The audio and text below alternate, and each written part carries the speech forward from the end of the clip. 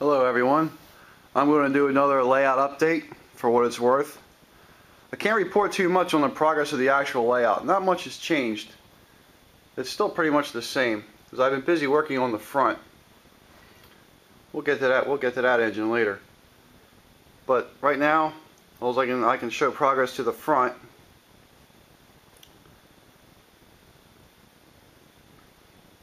This took me. Uh, I started doing this before the holidays. There's an access door there to get underneath and an access door over there. This is the command control center I was talking about. I got my ZW and the Z4000. The controller's in one, the magazine's in the other. And that's empty right now. These drawers open for little bits and pieces. Tires, batteries, smoke fluid. This is where I'm going to work on the engine. I've made this thing wide enough so that the, D, the DD40 can fit in here. And I can work on my engines that way. Close it back up when I'm done.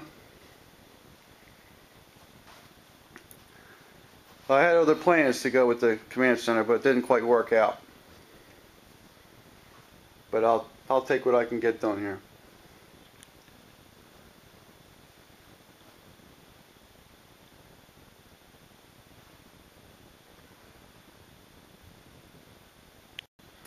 When I originally got into this to the train hobby, I had all Lionel engines, and then I found MTH, and slowly but surely I was selling off my Lionels and buying MTH engines, to the point where all these engines are now MTH. Every engine I have is an MTH.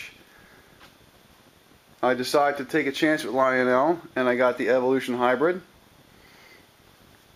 Here's the packaging it comes in.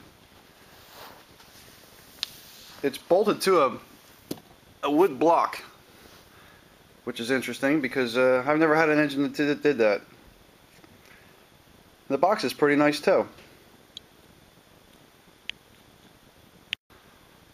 Well, this is the one Lionel engine that I have, and I bought the Legacy system just for this engine. And I gotta say, it's a pretty impressive engine. It's loaded with details. The lights do actually work. And uh,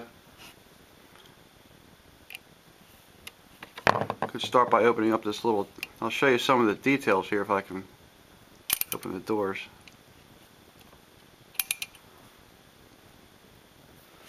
There's one thing. These doors are magnetically closed.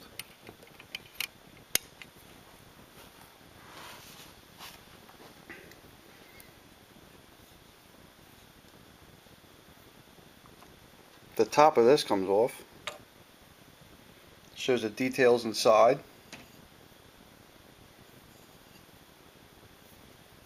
This is all die cast too, so this this thing has some weight to it. The the, the these fans, uh, I have to explain these fans because it took us a little trying out at at the at the train store. Uh, these fans do actually spin, but they only spin at certain RPMs. So if you buy it and you take it home and the fans don't spin, well, it's because you're not going fast enough. And then this top lifts off. It does take a 9 volt battery.